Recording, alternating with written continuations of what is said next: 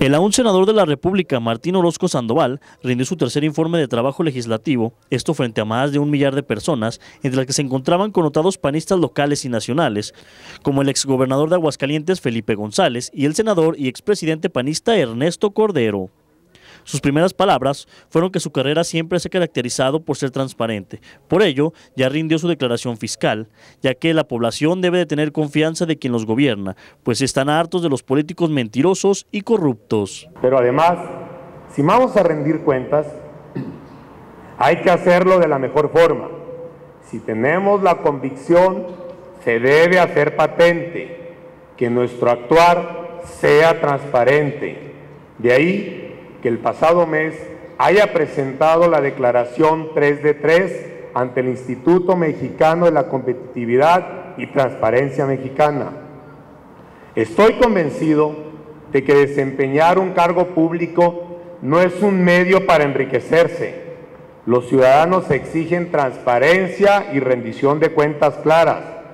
La gente está harta de la corrupción y de la opacidad y tienen razón. Ya dentro de su informe legislativo señaló que en su trabajo en el Senado ha impulsado reformas como las de transparencia y la de primer trabajo para jóvenes, al tiempo que ha dejado en claro su postura en contra de, como él mencionó, la retrógrada de reforma fiscal.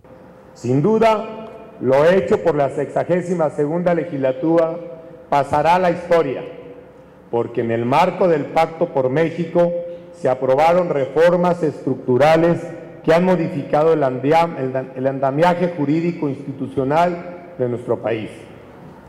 Cumplimos nuestra responsabilidad sin regateos ni mezquindad, con disensos hacia algunas reformas que resultaron incompletas.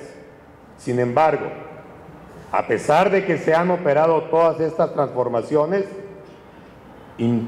irrumpió en México una nueva realidad el hartazgo de la sociedad hacia la clase política y con ello peligrosamente el desencanto a la democracia.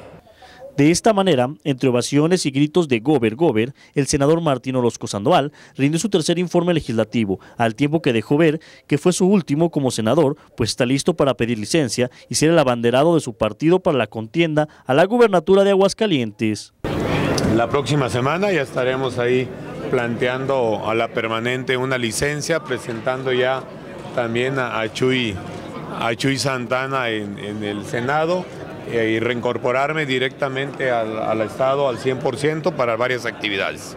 En este evento, que pareció ser más su postulación oficial, pues excepto Rubén Camarillo, los otros dos suspirantes a candidatos se vieron solidarios y resignados en este evento que parecía su pronunciamiento gubernamental. Con imágenes de Gerardo Santoyo para mi ciudad, Adrián Martínez.